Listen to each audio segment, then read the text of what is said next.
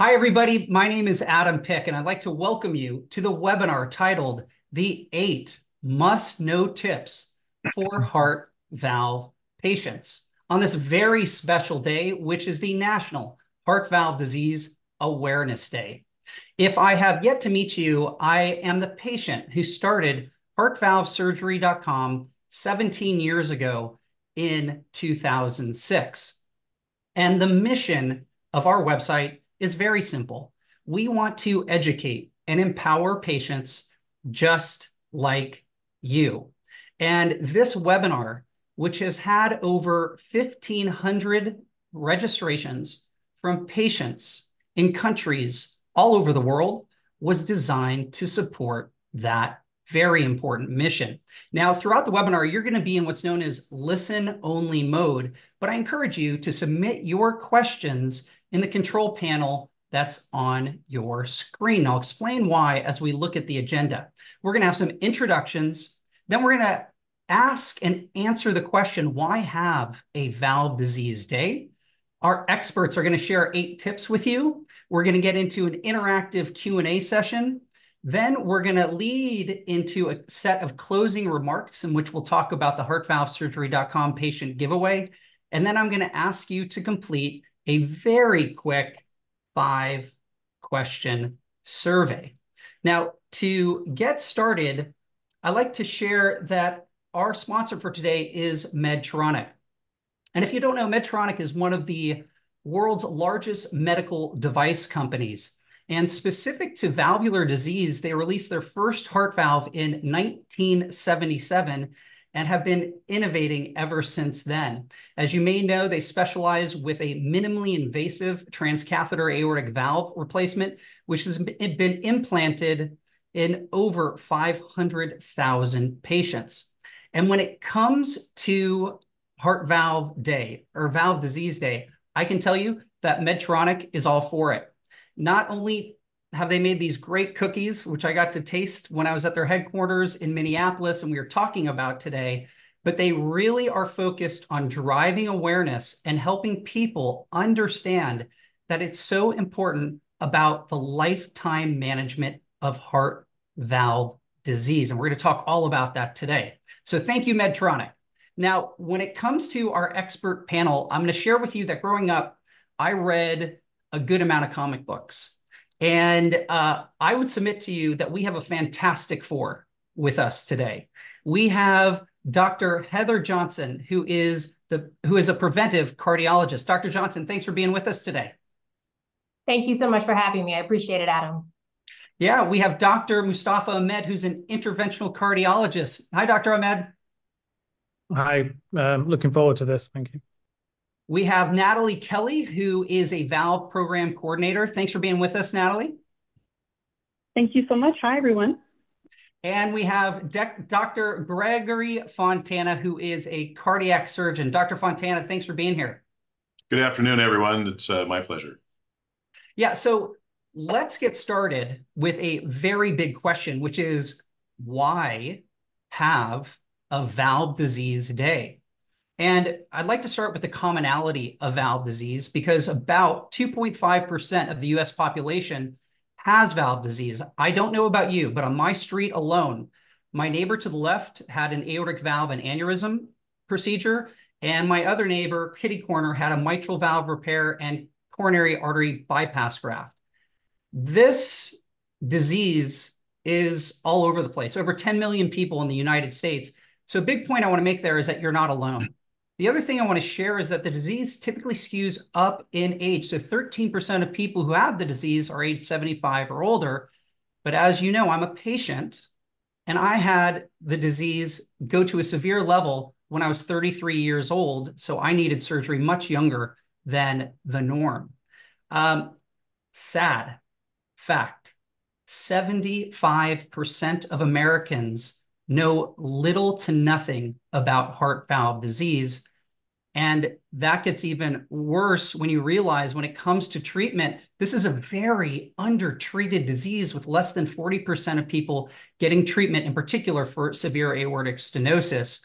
When you wrap all that up, the moniker for heart valve disease is often the silent killer. And according to estimates, about 25,000 people will lose their lives due to this disease. So, why have a valve disease day? I think it's very apparent. We need to drive awareness to this big, big health burden.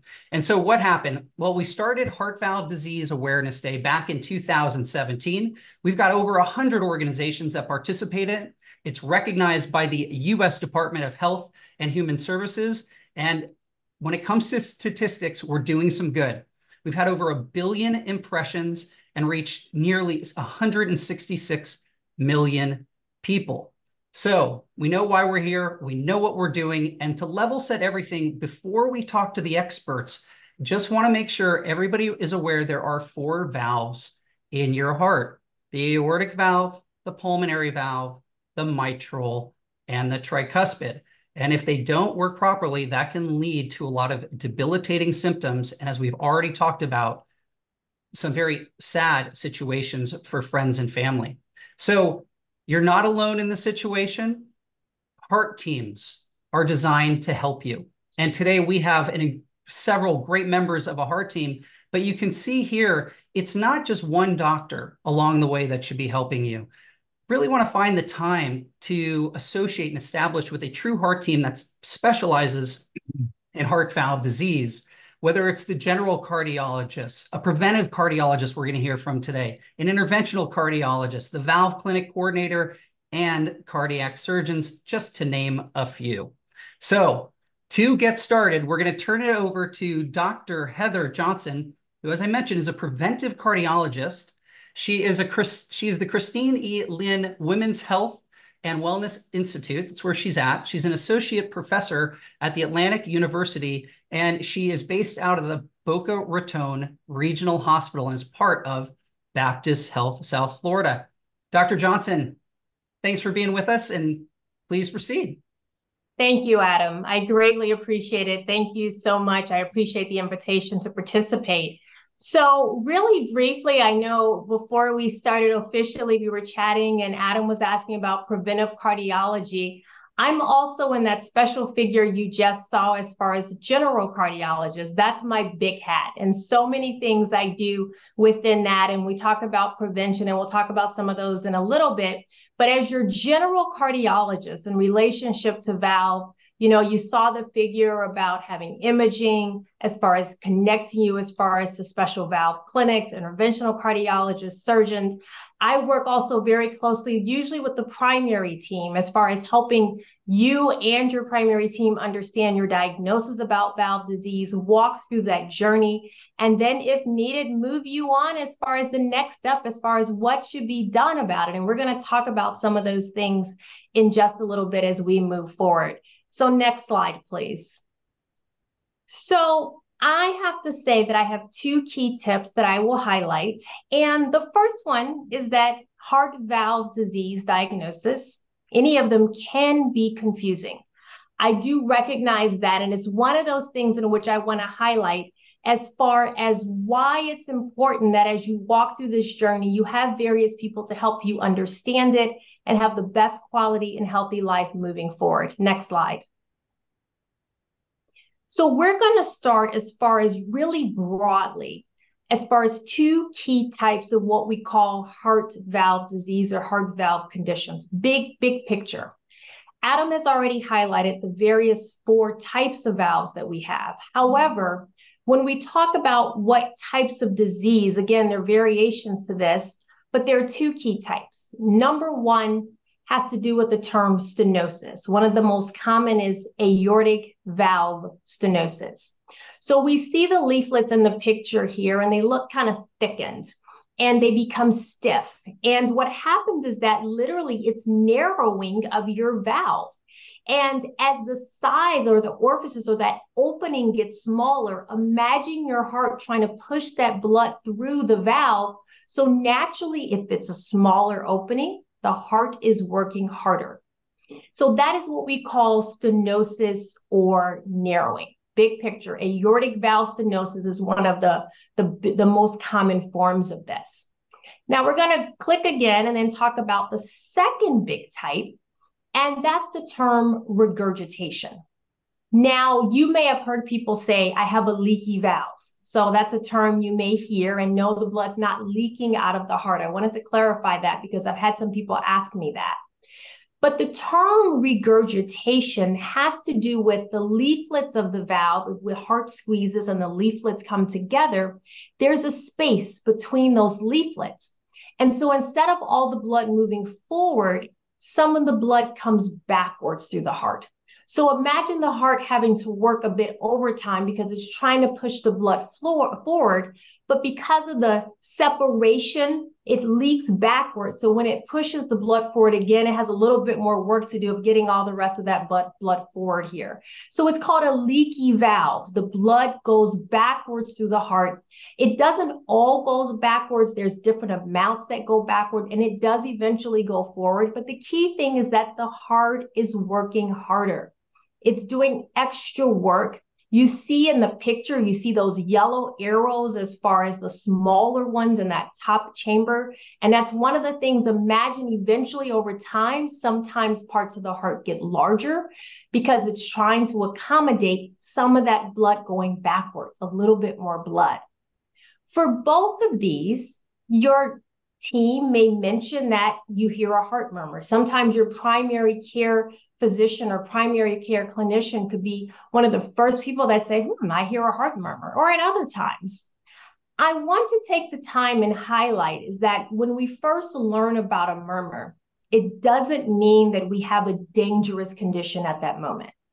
Heart murmurs are a sound. It's a sound that we hear, and it can be from other things, not just from the valve. So I try to make a point to explain to a patient if I hear a murmur, explain that it is a sound that I'm hearing, and I will tell them if I believe it's coming from the valve. We talk about kind of narrowing, regurgitation, stenosis, and we'll talk about moving forward. Now, next slide, please. When we talk about the valve itself, I want people to understand that when we first assess the valve, we're trying to help you understand is the condition more mild, moderate, or severe. Because we may see the regurgitation, see the stenosis, hear certain things on exam, it doesn't mean that you have a severe disease. It could be that some valves can have sort of natural sort of regurgitation or leakage. It's there. There are different terms we may use in the medical field. Many people for decades can have mild, trivial, trace, other forms when we talk about, for example, regurgitation or leakage. But we need to know that when we talk about disease of the valve, true stenosis, narrowing, regurgitation, where we're seeing changes of the valve, changes in that how much is going backwards. That's what we mean about a progressive disease.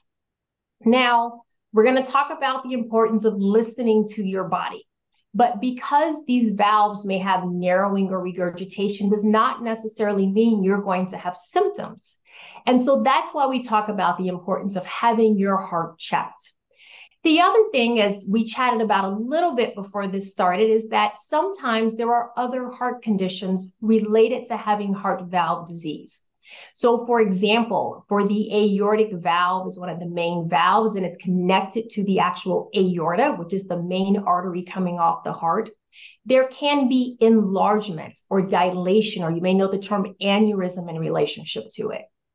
We also know that the heart has electrical system running through it, these fine fibers, and there can be electrical situations such as atrial fibrillation or different heart rhythms that can take place either by itself or in relationship to valve conditions.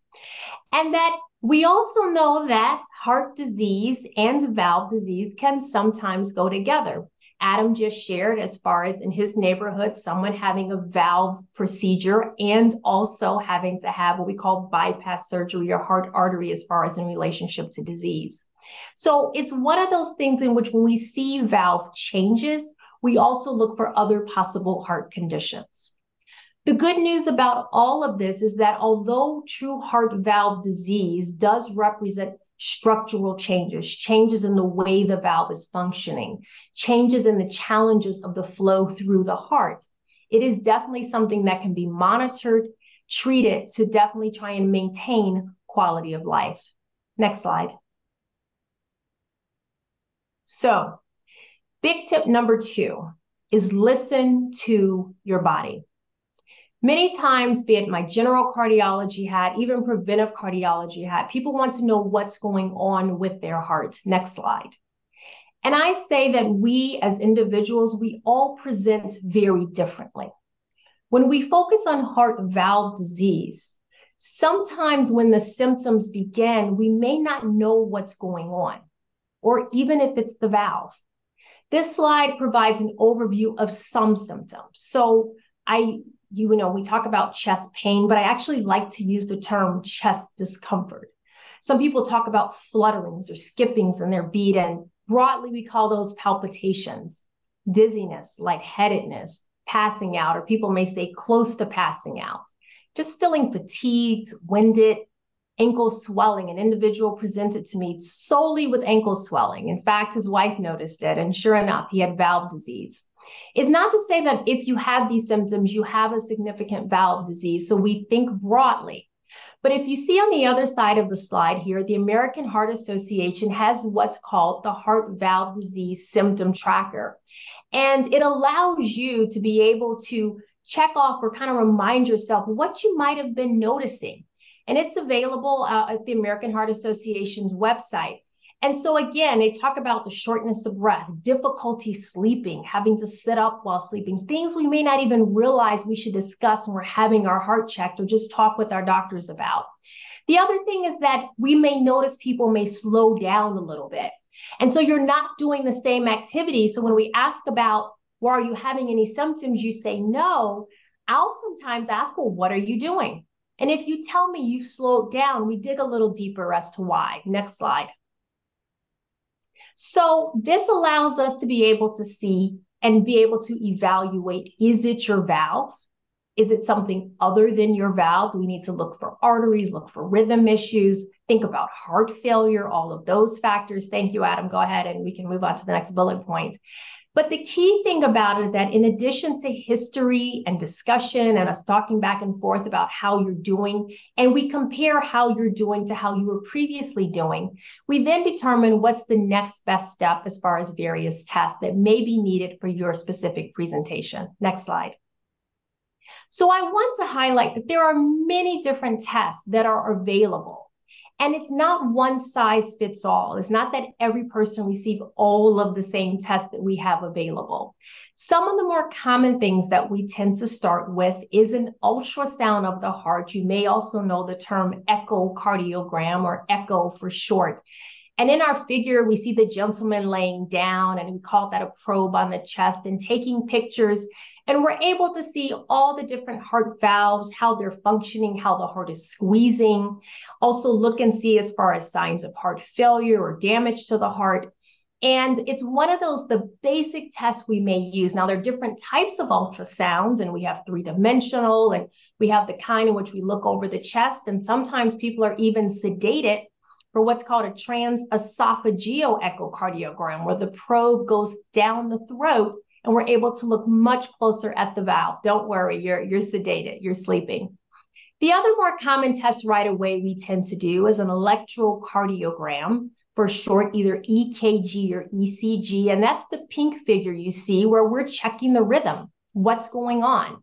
How's the heart rate? Is it too fast? Is it too slow? Is the rhythm changing at times? Sometimes you're asked to even wear a monitor for a bit of time for us to be able to see what's going on. So I always clarify because sometimes con- there's confusion of echo versus EKG. So when I'm asking what you had done, I always ask, did you have the jelly on the chest? That's the echo, the ultrasound. So we sometimes do CAT scans, MRIs, and various tests that are available. So just remember the team's goal is to determine what's best for you. Next slide.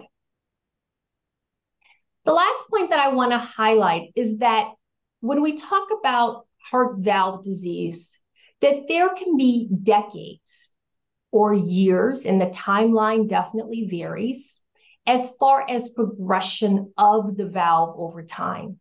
Many people, when they first learn about true valve disease, something that we have to monitor, and we'll talk about how often to monitor based upon what condition we see, what degree it is, mild, moderate, severe, there can be quite a bit of time as far as before you have any symptoms.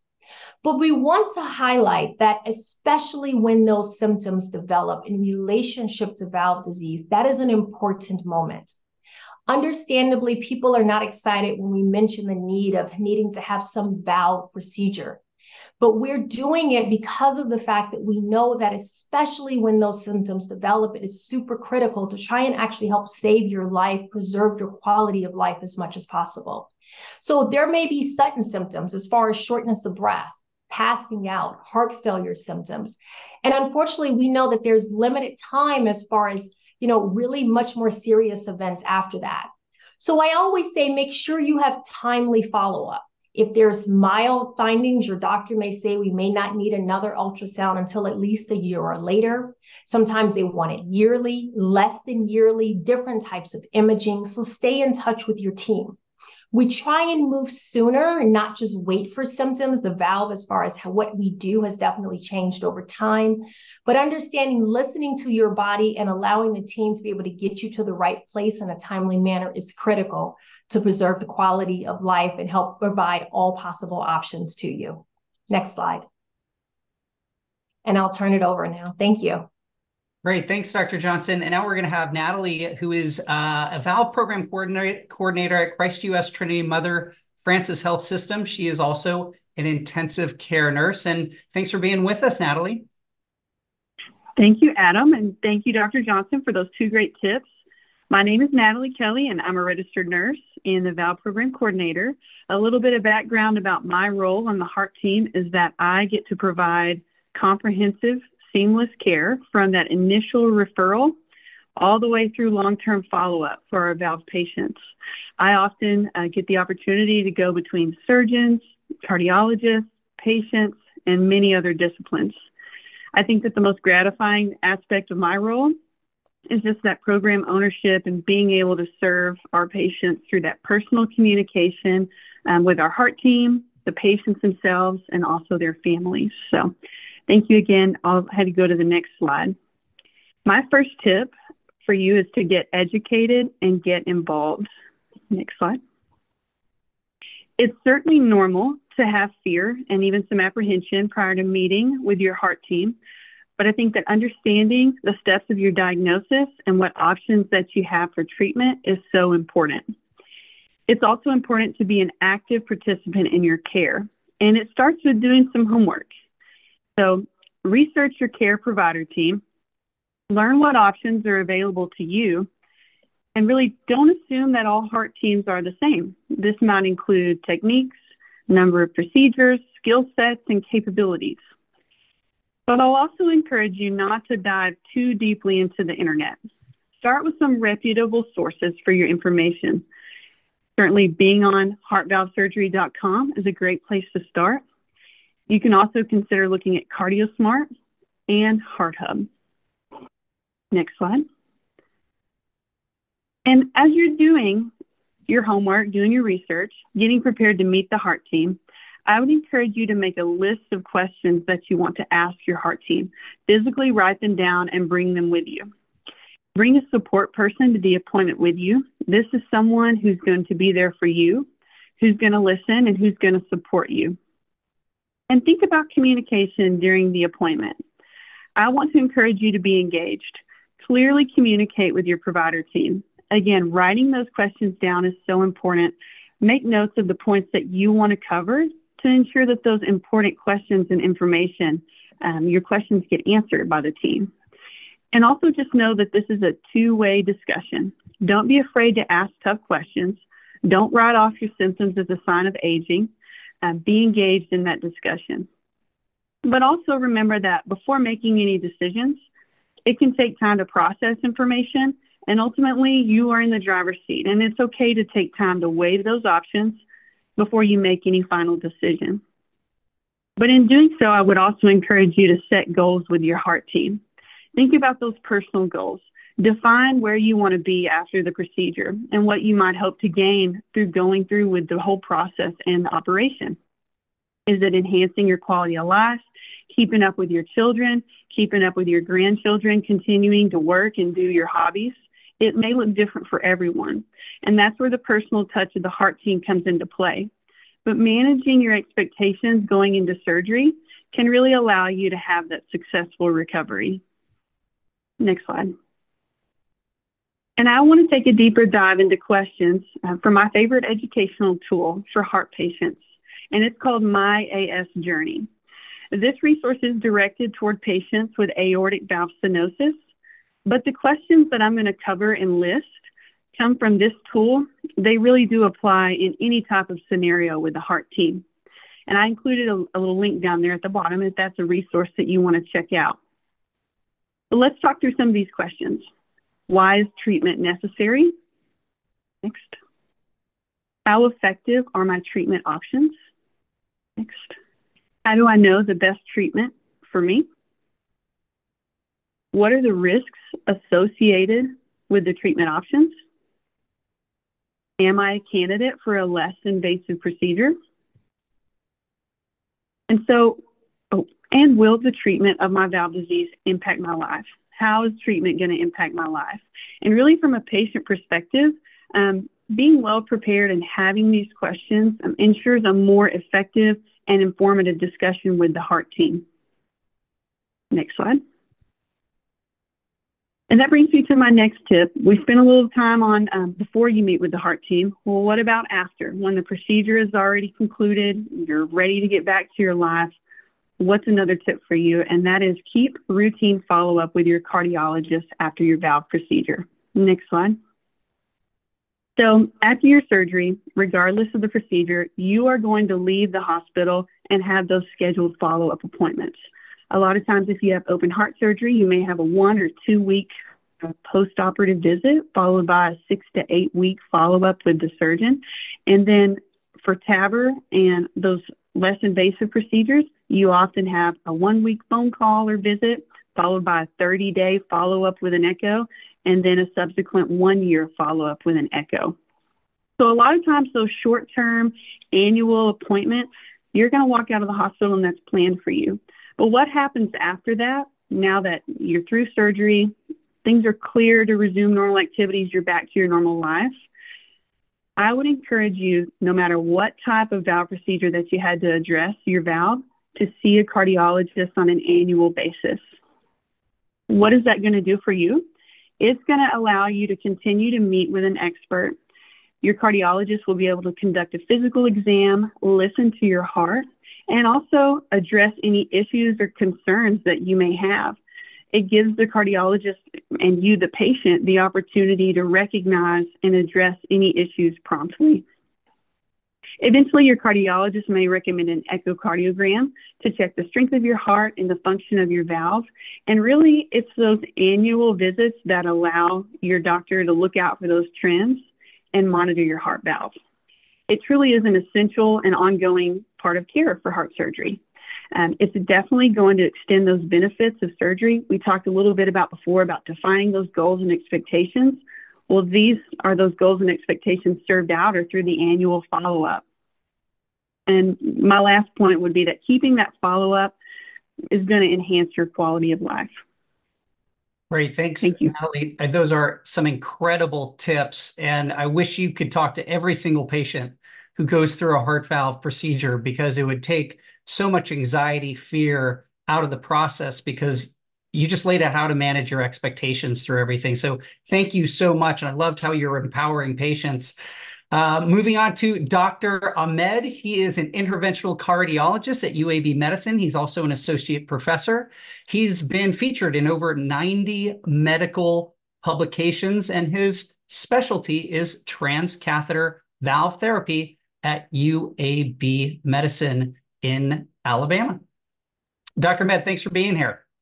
Sure, thank you. So, um, nice to talk to you all today. So, I'm something called a structural heart specialist, and it's a it involves uh, interventional cardiology. And what that really means is if you go 10 years ago, just 15 years ago, when I went into the field, it was one option. You have valve disease, there's very few valve specialists back then. and you go for an operation maybe, and then about 15 years ago. And over time, what's happened is so many, there's so many options now, many done by traditional surgery, many done by minimally invasive, and then many done by this thing called transcatheter, which means how do we maybe go through a vein or go through an artery in a in a manner that can maybe treat those people when we started this field that were felt too high risk to have any type of surgery. But now, through a very, very kind of wonderful processes and technology and teams such as that assembled here today, talking to you and everyone involved, um, we now have a whole array of options and really work closely with um, this thing called a heart team and the, the interventional cardiologist and the structural heart specialist really mainly how do you go through a catheter and do that and, and evaluate this disease? So let's start with the slides next. So the most important thing to get across, and when you have valve disease and you're told, okay, your aortic valve is tight or your mitral valve is leaky or whichever valve it may be of the four, no, no normal person, and this is for, for everyone on here, no normal person wants to hear, go and get your chest cracked open and have an operation because they've read about maybe some option where hey my my one of my friends or my parent they went through the leg and they fixed that valve and they went home the next day and they did great. And the reason this is such a critical tip is whenever going to get evaluated for valve disease the key is to understand all the options really look across everything and see what the best option for each individual case is and be open-minded. And, and what does that mean? I'm going to give you a couple of examples. So let's go to the next slide. So, so two things here. Um, on the left is an aortic valve replacement. It is, we'll show you a little video of that in a while, where a procedure through the leg called a TAVR procedure has, or TAVI if you're in Europe, um, you've gone through the leg and you, you know, within 20 minutes, put this heart valve in, um, expanded it into place. You're kind of lightly asleep. And before you know it, the procedure's finished if all goes well. And later in the day, you get up and you're walking around and you have a uh, discharge the next day. You follow up, and that that's the whole experience. And and that's a way of replacing a valve. And on the right, you have a band and a repair of what's a mitral valve surgery, um, which is for a leaky mitral valve, this repair. And but that involves a surgical approach, and that might be, we'll talk in a minute, but that might be with a robot surgeon, or it might be through an open heart surgery, or it might go through the leg, and there's options called a MitraClip. But each treatment has very different advantages and disadvantages. A TAVR procedure might be great if you are looking at a way that lasts a long time. We'll talk about this in a minute too, lifetime management. But if you have at the same time disease of your arteries, and you have at the same time disease of their aorta, and those things are there, but they're not kind of critical yet, but they're, they're getting on towards that. It is actually much more complicated to go and put a valve in like this and then do some stents in the arteries, or maybe not teach them or treat them, or maybe go ahead and watch that aorta over time. And if you said to someone, "Hey, we're going to replace that valve," um, it can be done quickly, and you go home, and that's all there is. That's fine. But in many circumstances, it is better to do an open heart operation, and put some stents, let's put some uh, bypasses instead of stents, and replace that valve and set up another procedure down the road nicely and also repair that aorta. And what you don't want to do is go for treatment which sounds absolutely brilliant compared to the other one for instant instantaneous purposes, but then in one, two, three, four, five, 10, 20 years, undergo a plethora of treatments which become more and more complex and actually limit the treatment options available after that. Same with the mitral valve. You can go through the leg and maybe put a clip on the valve and do a repair. At the same time, if you are high risk and you are not the best surgical candidate, great. We have data on that going a few years and it can be done. But then we have mitral valve repair. Yes, the recovery is a little bit longer, But then we have people and data and studies looking at people over 30 years. And you have to ask yourself eh, eh, when you go and speak to a physician or you go and speak to a provider and you're like, hey, what, what are my options? Never go in. My biggest point of this tip is never go in and say, hey, I want the most minimally invasive thing possible. That absolutely should be in your mind. It would be on my mind as well if I was going in and getting this done. But really, what you're asking is, what is the best treatment for me in the totality of all the conditions I have that not just takes into account my experience when going in, but really builds a management plan that takes into account all of the other things I may have. If you have an aortic valve and you're having a replacement and your aorta is large, that needs to be discussed beforehand. Or if you've got a lot of arteries and people putting a stent, that needs to be discussed. And if you seem like you're having a mitral valve treatment and someone's offering you MitraClip, is the surgeon that you saw at the same time experienced? And do they understand that? And really, all of this is discussed by a good functioning heart team.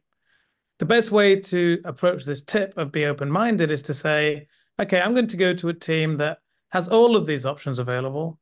Everyone in these teams is actually pretty good at these options. They've discussed not just the most minimally invasive option, but the other options too. And then take all that together and come up with a decision that leaves you in an advantageous point both instantaneously and in the future. And listen, I've had people come to me and they're 60 years old and they're demanding a valve through the leg, and their reason they understand. They understand you may have to go in and it may you know last long but it may not last as long and going back in in 20 30 years may be different and they understand they may need to have a surgery down the line however after all that they are making that decision and someone might say to me listen i'm in, in flying right now and i'm in these few years and i don't i can't have surgery now and this is why and i a million percent understand and that's all we want for everyone we want absolute understanding shared decision making not just go in someone can do it through my leg i want to get it done great, you go home because then you then you've got these problems afterwards. So let's go rush through a couple of slides here. So here's some different approaches that are surgical, but I'm going to kind of rush to the next slide too. And let's show this valve because I do want you to see these options that can be done of a valve. So this is what we do now most commonly to replace an aortic valve. You'll see there's the heart and it's beating, and there's the aortic valve, which we're going to zoom in on now. And there it is. It's kind of opening and closing. You can see that and the big aorta coming in. Now we're looking on top of that valve. And see, there's calcium buildup on the valve, the most common cause of why that valve becomes tight. And in these procedures where we now do this TAVR procedure, we are going to kind of come back and that red pipe there, which has now become kind of highlighted, there's the arteries. And we can now go through those arteries with something that is as big as a pen, kind of a, uh, in terms of profile. We go through the leg and up to the heart. And we mainly, mainly through the leg here, can put us an, a valve through here we will thread it up through the body. I really wish it was as easy as this video is making it look. I mean, it is quite straightforward, but definitely we don't just, it doesn't just uh, go like this, but there you go. So the valves now come through and you can see it being expanded into place. And we have a chance with the Medtronic valve here to recapture and reposition this and really put it in perfect place. And there you see a new valve, then it will be released. And, you know, the actual valve deployment itself, when you're in, once you're in there, may take another minute longer than this. Then we take out the system and the wire and you have this new valve. And that's called a transcatheter valve. So we'll jump to the next slide. So, and we'll, keep going because I don't want to, I've, I've kind of been through a bit of this before. Keep going.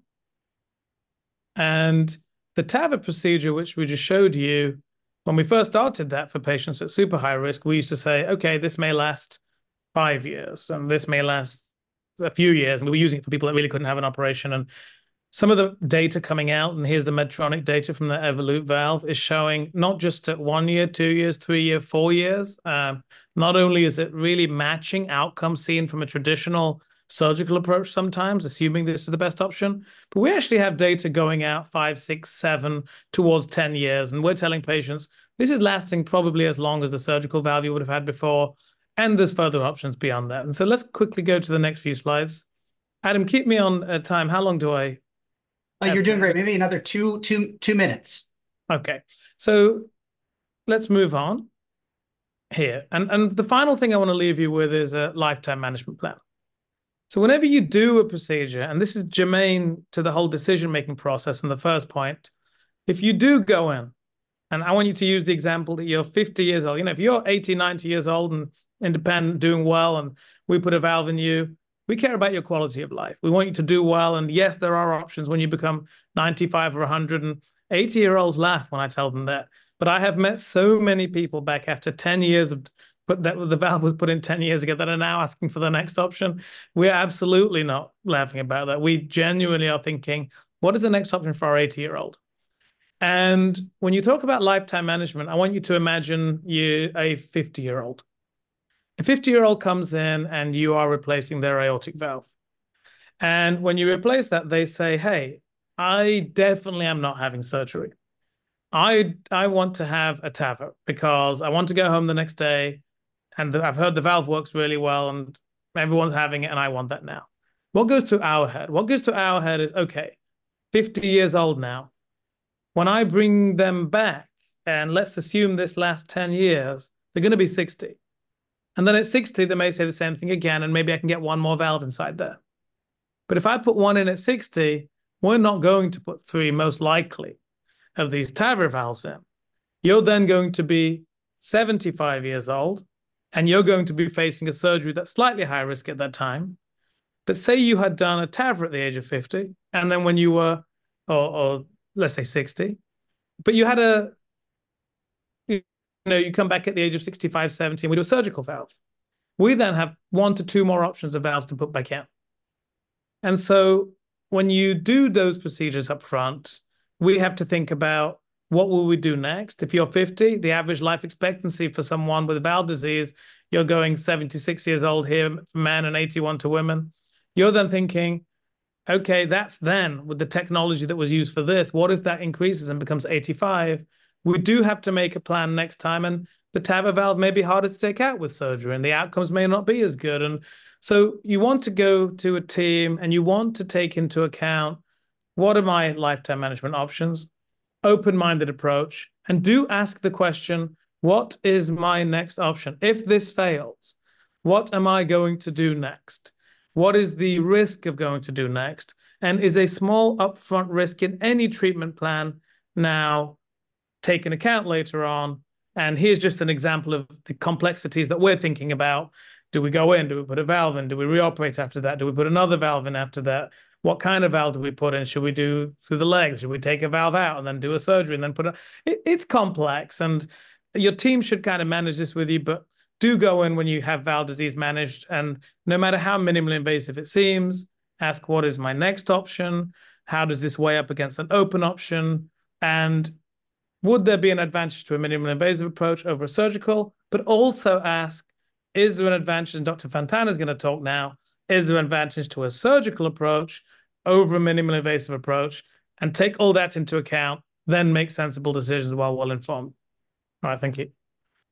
Great, great points, hmm. Dr. Ahmed, especially the parts about being open minded. I talk to so many patients when they call me or they email me, they're locked in before they've even seen a cardiologist or a surgeon as to they only want a robotic or they only want a TAVR. So I really appreciate you suggesting the open-mindedness and the lifetime management of valve disease. Moving on to, so thank you, Dr. Moving, moving on to Dr. Gregory Fontana. He is the chairman of cardiothoracic surgery. He is a minimally invasive specialist. He also spends a good amount of time in the hybrid operating suite doing transcatheter work. He specializes in congenital and acquired heart disease, and he has done a good amount of investigation specific to clinical trials. Dr. Fontana, Fontana, thanks for being with us today. Oh, thank you so much, Adam. This has been great. I really uh, enjoyed the panelists' discussions, and uh, I think you're starting to see some common themes that are weaving together today, and I'm hoping it's helpful to uh, those attending. Uh, Br briefly, yes, I'm a cardiothoracic surgeon. I do uh, cardiac surgery uh, specifically, as well as transcatheter valve interventions. Um, one of the few surgeons that's actually trained to do both as a primary operator, and and I, it's really an advantage, I think, in our institution that uh, we have no really bias based on our specialty. We, we try to be biased towards the patient's best care and best therapy, which is a theme that uh, is is here today with us uh, during this program. I I uh, have really enjoyed over the years when I was in pediatrics and also adult the evolution of what has been mentioned as the heart team model, uh, where we tap into the, the expertise and experience of all the members of the various disciplines to help create a plan together with the patient and the patient support system uh, to make sure we get the best uh, result from uh, the therapy that we recommend. So I, I, just have a couple tips here before we get to Q&A. Um, first one is get a second opinion or a third opinion. Um, as was mentioned at the very beginning, um, today by Dr. Johnson, heart valve disease is very can, can be very confusing. I mean, a valve's function is actually quite simple. It just opens and closes and makes sure blood goes in one direction and not the other way, and do, do, doing it efficiently. But there's a lot of physiology and pathology and related conditions that have been mentioned that that make it confusing. I, I I think one of the things that I find myself, and I also see with my patients, is the more information a patient can uh, be exposed to, different opinions, it actually generally makes them less stressed and more enlightened. And, and uh, as the more the understanding is there, uh, the patient and the and their support system get more confidence in the therapy uh, initially, and also as has been mentioned uh, in the terms of a lifetime plan. Uh, next slide. So you know, I, I would like to just say that you, you know, a, a, cardiologist and a cardiac surgeon certainly should be involved in the evaluation of every heart valve patient. Um, it may be that surgery is, has offers a dramatic advantage in some cases and can often be do, done with a small incision. In other cases, clearly transcatheter valve uh, approaches, whether it be aortic, mitral, or now tricuspid, should be done with a transcatheter approach because the patient's comorbidities or age, for example.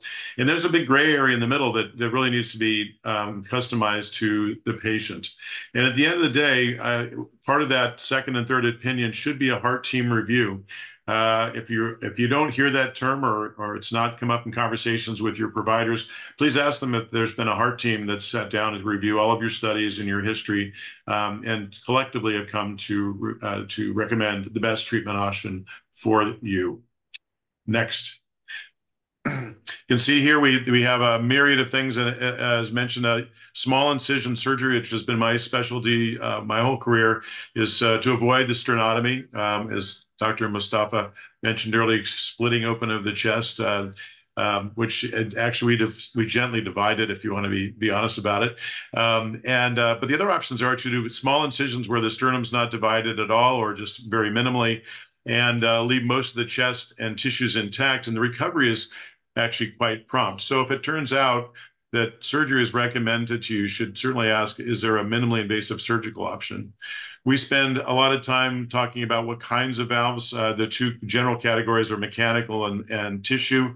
The good thing about a mechanical valve, it'll last 150 years, but the downside is you're going to require uh, lifelong uh, anticoagulation or blood thinning. Uh, tissue valves are wonderful in that you don't you generally require um, anticoagulation, but they do have a limited durability. Maybe it's 10 years, or if you're lucky, a little bit longer. And then, of course, the transcatheter valves, which have really revolutionized our approach to valvular heart disease over the last 20 years or so. Um, it was quite crude in the in the 2000s, and now the, the technology has advanced in such a way that uh, these catheters are small and they're safe, and they and they safely can deliver the new valve or the repair technology um, in a patient that uh, oftentimes is, is not under a general anesthesia and just sedated. Next slide. So finally, uh, to wrap this up, um, there's no substitute for a healthy lifestyle. Next slide. One of the things that um, I, I, hear very often when patients come back, and I try to plant the seed ahead of time, is they'll come back and say, you know, my breathing's so much better, but I don't have energy, I don't have any stamina. And just remember that, you know, if, if you have been um, in heart failure or you've had have been slowed down by the, the heart valve condition that you have, your body becomes deconditioned uh, significantly, and there it requires a period of reconditioning or rehabilitation. And so you can really only have the full benefit of the heart valve therapy uh, by optimizing your overall health. Exercise, everyone can do something.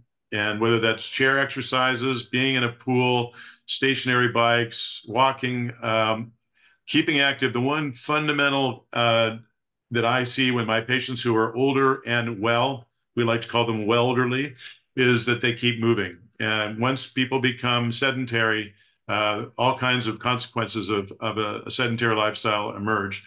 Uh, diet and weight control, uh, certainly moderation, everything and anything in moderation. The Mediterranean diet is what we keep coming back to, and all the fad diets that come around. Uh, smoking cessation, we get you out of heart failure, but you continue to smoke, uh, then you have another reason why your shortness of breath may be persistent. Stress reduction strategies, um, a lot of a lot of stress that occurs in medical conditions is manageable um, with some strategies that you should discuss with your primary care doctor. And of course, all the other health conditions that uh, that come increasingly common as we age, hypertension, diabetes, et cetera. And then, of course, regular follow-up uh, with your cardiovascular team, not just to check your blood pressure, your medicine, but to look at your overall cardiovascular health. Am I doing everything I can to optimize the therapy uh, that I've been able to have um, uh, for my heart valves? So uh, I, I, think that's I think that's all I have to say today, and um, we'll move on to questions and answers. Thank you, Adam. Yeah, Dr. Fontana, thanks so much for those tips. And we are going to move on to a rapid fire question and answer session as we have now 55 questions um, and only about uh, eight minutes. So we're going to get to these questions from the patients. And if we could ask the panel to answer as succinctly as possible so we can get through as many of them as possible. The first one comes in from Nikki, and this is for you, Dr. Johnson. Has any research been conducted on stopping the calcification process of a bicuspid aortic valve? Is there a pill you can take that stops the calcification process of the valve? That's a great question, Nikki. We don't have a single medication to be able to slow the progress of the valve calcification, but we do talk about the importance of monitoring your blood pressure, decreasing how much that valve is definitely working. So if your team is recommending other therapies in relationship to overall heart health, that will also help the valve. Great. Thank you, Dr. Johnson. Moving over to Natalie. Uh, Rosemary asks, I had a mitral valve replacement in December and have been struggling with a depressed mood, isolating, etc. My PCP tells me this is an almost universal response to heart surgery. Is there any consensus as to why this happens? Thank you, Rosemary, for the question. First of all, if you notice any symptoms of depression or you feel like you're struggling, definitely talk to your medical provider. Um, but certainly discuss that with your heart team and consider um, if they can prescribe something called cardiac rehab. Um, cardiac rehab is really a great option for you because it allows you to join other patients um, in focusing on exercise and return to an active lifestyle. Other considerations would be finding out if your um, hospital has any kind of support groups. Um, we have one in our facility where they meet regularly, and that just allows you to have that camaraderie with other patients who may have similar experiences to yourself. Thanks, Natalie. I don't know if you could see me, but I was smiling ear to ear because cardi cardiac rehab was really the turning point in my recovery that took me out of cardiac depression. So thanks for those comments. Rosemary, I hope that helped you. Moving on to Dr. Ahmed. It's a question from Terry asks, if you have an ascending aorta repair and down the road you need an aortic valve replacement, can a TAVR still work, pass through a repaired ascending aorta? Uh, yes, it, you can pass through an ascending aorta. You need to kind of look at the aorta before and after and make sure it doesn't need any further work doing itself. But a graft itself doesn't doesn't prevent that. Assuming the valve is tight, sometimes when the aorta is repaired, it's a leaky valve associated with that, and a TAVR for a leaky valve like that may, may not be the best option. But the specific answer to the question is yes, you can pass a TAVR through a repaired ascending aorta. Great. Thanks, Dr. Ahmed. Moving over to Dr. Fontana. This is all about a big problem in our community, which is AFib. Bruce asks, is it normal for patients to take Coumadin before and after open heart valve surgery due to AFib? Does the patient need to take that blood thinner for the rest of their life, mm. even if AFib is gone? That's a great question, uh, Bruce. Thank you for that. Uh, atrial fibrillation remains, a, as uh, Adam says, a huge problem in this country, and it is often associated with valve disease. If you have open heart surgery, the surgeon should be addressing the atrial fibrillation and in two ways. One is potentially doing an ablation to eliminate the rhythm, But most importantly, related to the blood thinner, is the removal of the left atrial appendage, this cul-de-sac that's on the attached to the left atrium that just fibrillates and, and quivers, and that's where uh, blood clots, clots can form, and that's why we take blood thinners because that can be associated with stroke. And um, if the surgeon removes or clips the left atrial appendage during the open uh, heart valve surgery, um, that risk is dramatically reduced. Uh, that said, you should work with your cardiologist towards uh, uh, discontinuation of anticoagulation. Uh, these days, we've moved from Coumadin to some novel anticoagulants that aren't quite as difficult to manage. And uh, but the answer, in, in, short, is there is a potential to discontinue blood thinners after the open heart surgery. Great, thank you. Back over to Dr. Johnson. Irene asks, "I have mild, moderate tricuspid valve regurgitation." Is it serious? Should I see a cardiologist? Great question, Irene. And yes, it is a great time to see a mm-hmm. cardiologist. It's not at a severe stage. Remember, we're saying don't wait. Don't wait for symptoms. Don't wait as far as it becoming severe. You'll be able to walk through what it means as far as how often it's monitored. And as also Dr. Fontana highlighted the importance of a heart healthy lifestyle to really slow the progression. Great. Thanks, Dr. Johnson. A big question for you, Natalie, comes in from me. And the question is What is the biggest challenge or frustration that patients experience leading up to treatment? And how can you help them overcome that challenge or frustration? This is a big question. Um, I think that the biggest frustration for patients is the new diagnosis. Um, whenever the valve disease progresses to that severe range because now it's really impacting their quality of life. And so patients now you're being told you have heart valve disease, you're going to be shuffled through all of the disappointments, the testing, uh, workup, all while being told, and you get to look forward to making a choice about what operation that you're going to need to fix the issue. Um, as a valve program coordinator, I, I do get to educate patients um, about their heart disease.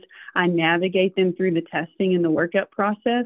And I also empower patients to have a voice in their treatment plan. And when I call my patients specifically um, for that first time, I make sure that they know my name and how to get in touch with me. Um, I think that the role of the program coordinator is pivotal to, to patients. Um, and being dedicated to my patients and my hospital helps them overcome frustrations. Um, having that central point of contact in your valve program coordinator. I, I love hearing that you are the intersect and the interface for the patients and the clinical work that's needed. Thank you for that, Natalie. And over to Dr. Ahmed, John asks, what are the primary risks involved with TAVR? What percent of TAVR patients have moderate to severe complications? And how does your team manage those complications? Oh, let me try and give a simple answer to a, a actually complex question. So, TAVR itself overall is safe procedure. The risk depends on the risk of the person going in.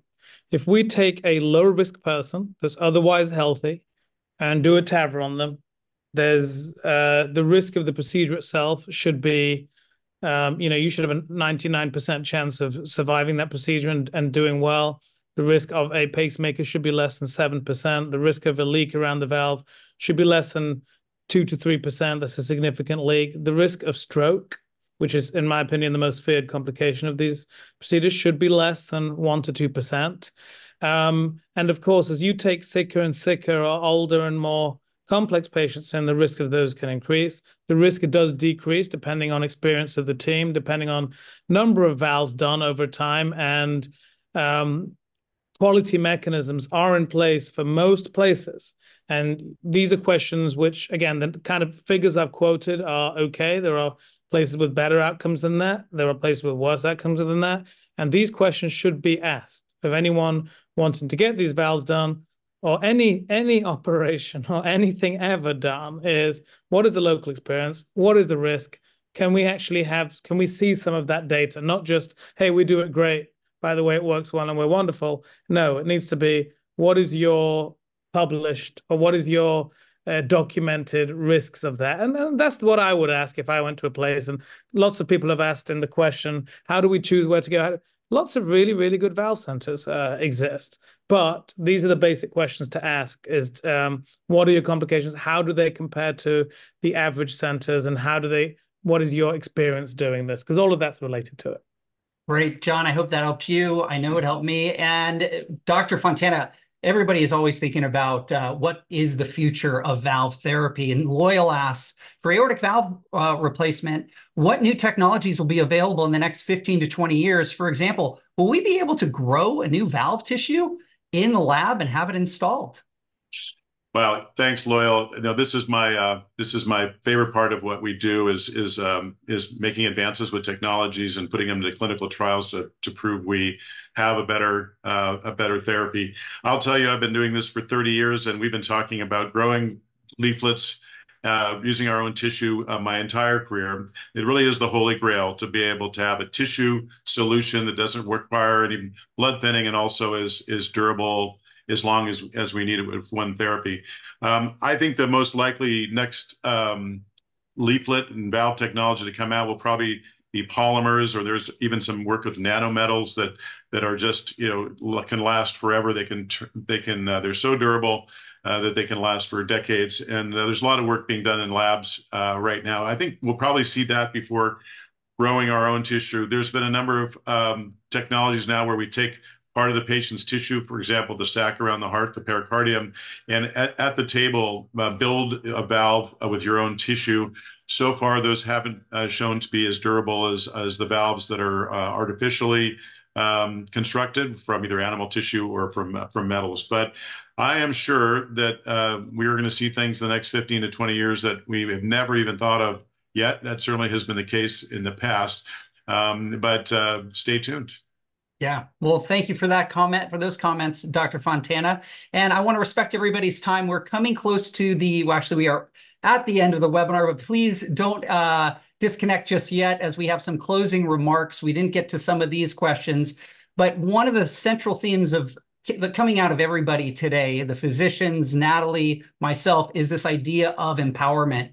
And really, if you think about where empowerment, how it looks, it looks a lot of times like the smiling faces on all of these patients that you see here as part of a national campaign that is being launched and managed by Medtronic. It's called Silence is Not Golden, Life Is. And we've already talked today about the undertreatment and why, if you have a problem, listen to your body, like Dr. Johnson said. Look at your symptoms, be open minded, go and get opinions so that you can have a great outcome specific to your valve therapy. And at this new website, Life is Golden with EvolutTavr.com, uh, we went ahead and we asked patients, what's been your golden opportunity since being treated with TAVR? And it, it is a fascinating inquiry to see how patients are returning to active living after having a valve therapy. It might be even just more empowering and educational for you. And lastly, uh, we are having a heart valve day giveaway that is going on right now. Everybody who was on this webinar is automatically registered in it, and the winners' uh, announcements are going to be happening tomorrow. So uh, we got a lot of great heartvalvesurgery.com goodies to give away. And as we wrap up, I want to very quickly thank our expert panel, Dr. Johnson, Natalie Kelley, uh, Dr. Mustafa Ahmed, and Dr. Gregory Fontana for being with me today. I really want to thank you, the patients in our community, for coming together and really being a part and being advocates for advocates for all of our own healthcare and valve therapies to live the best quality of life that we can. And I'd like to thank you now for in advance for doing the survey. On behalf of everybody, we hope you had a great National Heart Valve Disease Awareness Day. And yes, thanks to Medtronic, our sponsor. And with that, I wish you all the best. And we will be talking to you soon. As we always see, say here at heartvalvesurgery.com, keep on ticking.